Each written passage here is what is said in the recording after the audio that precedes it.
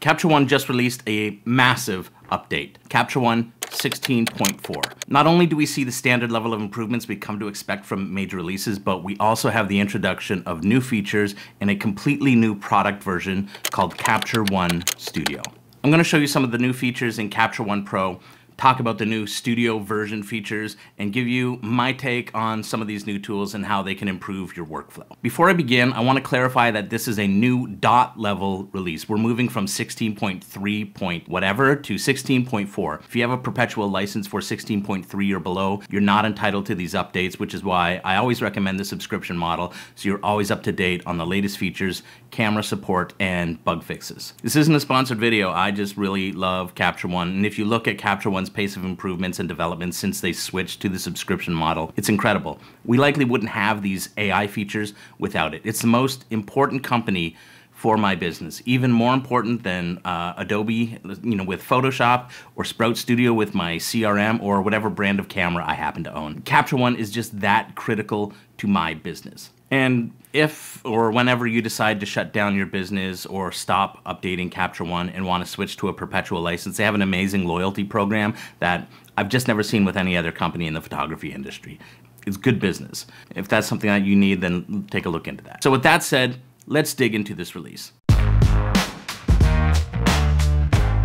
The first big announcement was the creation of a new product line called Capture One Studio. So now we have Capture One Pro and Capture One Studio, as well as the existing cultural heritage version, which is primarily used in settings such as museums for documenting cultural artifacts. This product line split mimics that of DaVinci Resolve, the video editing, VFX, and color grading software used by much of Hollywood, and which I use for editing these videos. DaVinci Resolve has a regular version for people like me, and a studio version with more advanced features that are more useful in a professional editing studio where the software is being used all day, hence the name. The new studio version of Capture One has features that I feel would be very useful to a professional editing studio that's shooting e-commerce all day. In fact, they've made improvements and added features specifically for this use case, which is exactly why this new studio version exists. Now, before I get into the weeds of this release, I want to say that this channel exists because of people like you. So please take a quick moment to click the like button. Also, consider subscribing so I can continue to make more videos for you. I'm trying to get to 10,000 subscribers, and you can make a difference simply by subscribing to this channel. I'd really appreciate it. All right, let's start with tethering since this is why Capture One was created and where it outshines all other software.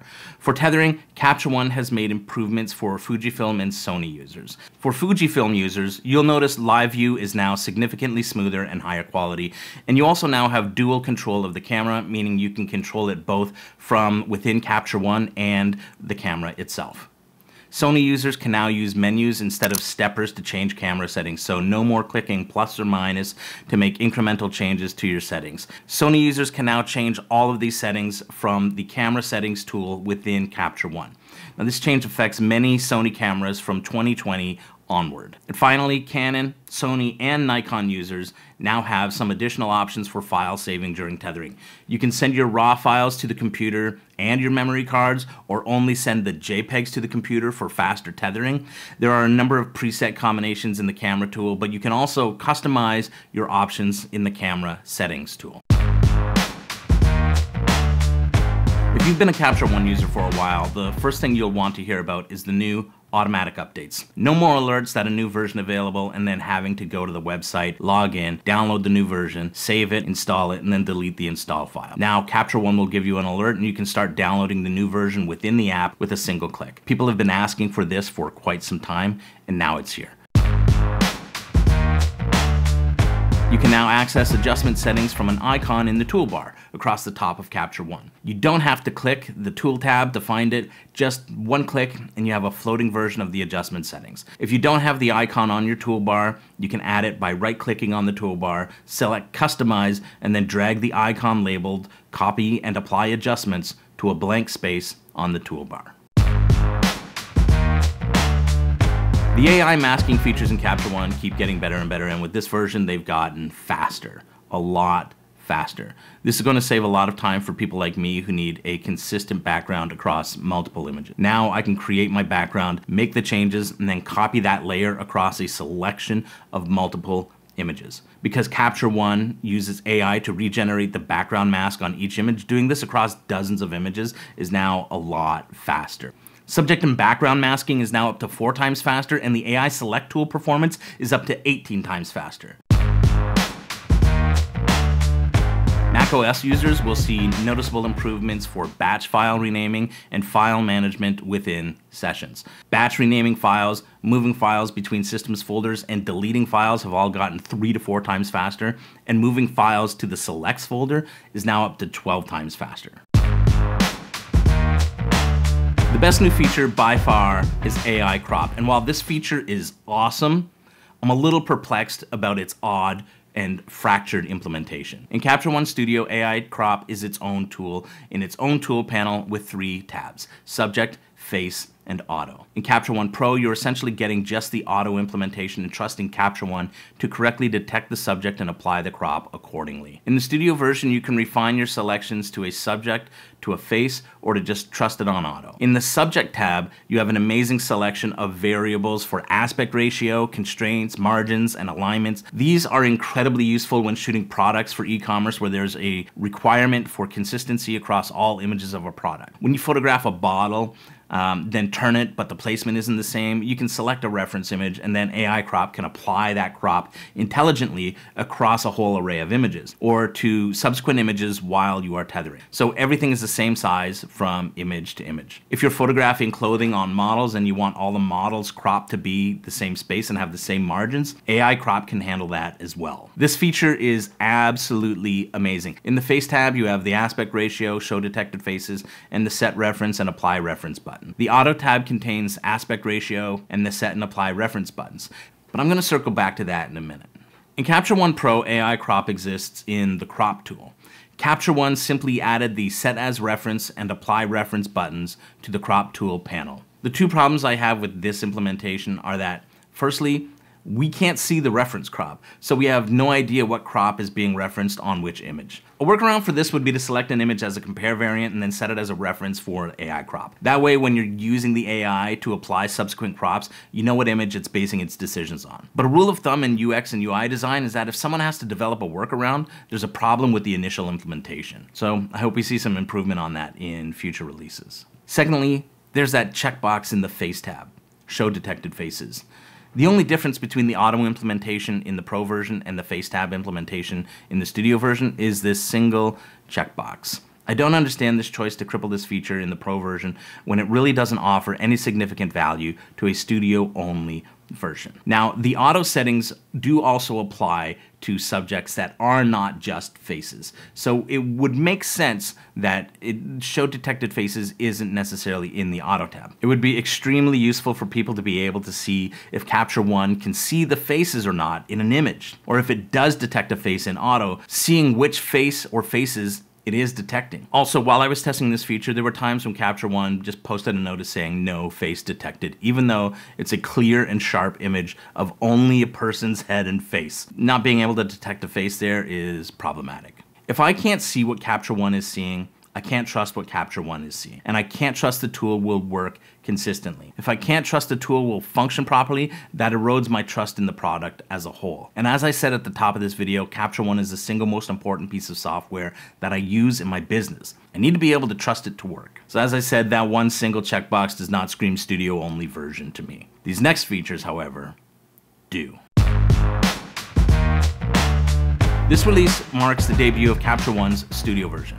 Capture One Studio has all of the features of Capture One Pro plus a number of new tools and additions specifically designed to improve the production environment in a busy photography studio. I just discussed the AI crop tool, which is its own tool panel in Capture One Studio, and probably worth the jump to the studio version on its own for people who would need that level of consistency and functionality. If you jumped ahead to this part of the video, jump back and watch that section for info on the AI crop tool. Capture One Studio also has a free Live for Studio companion app for iOS, which allows people to view, rate, and tag images on an iPad without needing to access the internet, provided the iPad and Capture One Studio are on the same local area network. This is great for location shoots where there's no internet connection, but you can set up a local Wi-Fi network. Your clients can sit comfortably in a video village and not have to crowd around a laptop, looking over a Digitech shoulders at a 13-inch laptop that's shrouded by a sunscreen. Capture One Studio also introduces multiple client viewers. If you have up to three additional monitors on set, each monitor can have its own viewer,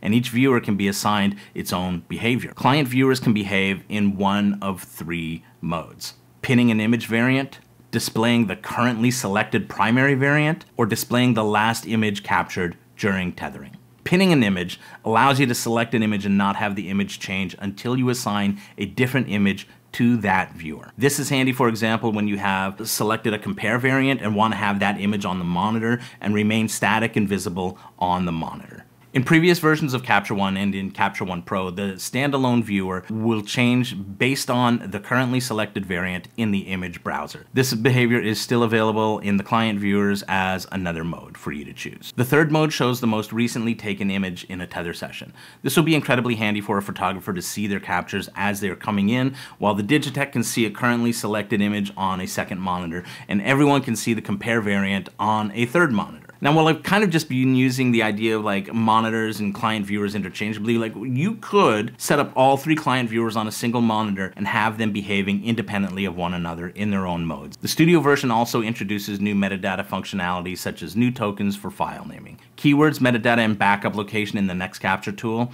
and tool locks so you can set locks on tools that you want to make sure are not accidentally changed when working on a production. The last tool I want to talk about is the new guides tool. This is not to be confused confused with the grid tool. The guides tool is similar to the grid tool, but you can get much more specific with your guides and you're not stuck to a grid of equally sized cells. You can customize the color you assign to the guides and toggle whether or not guides should uh, stick to the image bounds or follow the crop, and you can also toggle to show the guides or hide the guides. Now, I don't know if there's a limit on how many guides you can set, but when I tested it just by repeatedly clicking the new guide icon, I was able to add 40 individual guides. All guides are independent of one another and uh, guides are completely independent of the grids. So you could have an image showing a grid, showing detected faces, and showing multiple guides all at the same time.